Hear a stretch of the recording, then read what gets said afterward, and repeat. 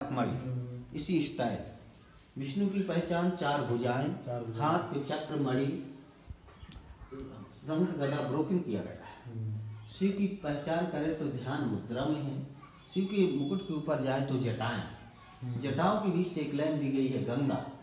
Crocodile पे गंगा विराज दोनों तरफ़। जटाओं के नीचे से नीचे आएँगे तो एक त्रिशूल समझ में आएगा उसके नीचे और आएँगे तो चंद्रमा कानन में कुंडल head Shiva body Vishnu legs Krishna. ये राधा ये रुकमणी।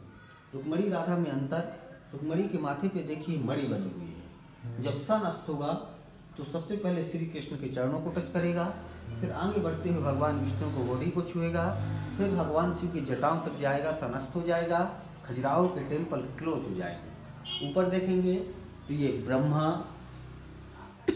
सेंटर पे भगवान विष्णु लास्ट पे भगवान शिव। फोर स्टेचू वो हैं फाइव इधर है नाइन प्लानिट नौ ग्रह। जो मंदिर के ऊपर का भाग होगा उस भाग को बोलेंगे स्वर्ग लोग जो मंदिर के बीच का भाग है जिसमें युगुल है कपिल है इस- इसको बोलते हैं मृत्यु लोग पृथ्वी लोग ये माता गंगा जो कोकोडाइल पे सवार है। इधर भी इधर भी। जो मंदिर के नीचे का भाग होगा इसको बोलेंगे पताल लोग ये बसु है। जिससे समुद्र मंथन हुआ था।